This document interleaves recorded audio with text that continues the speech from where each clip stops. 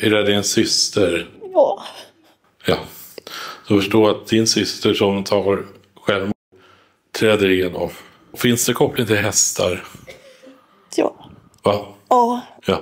Hon visar hästar för mig. Nu visar hon Jocke och Jonna. Vad menar hon med det? Nej, Joakim heter min bror, men Jonna vet jag inte. Men ja, jag kollar i och för sig på Jocke och Jonna på Youtube också.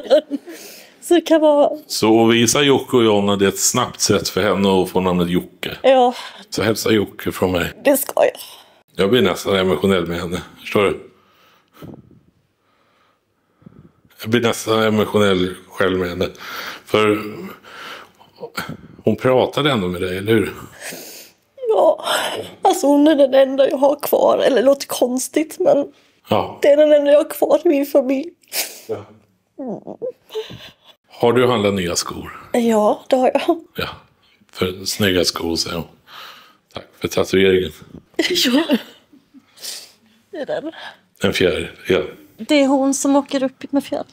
Wow. Har du också varit och kollat blodet eller blod, fått en spruta? Som, Jag tog vaccin i Yes. onsdags. Yes.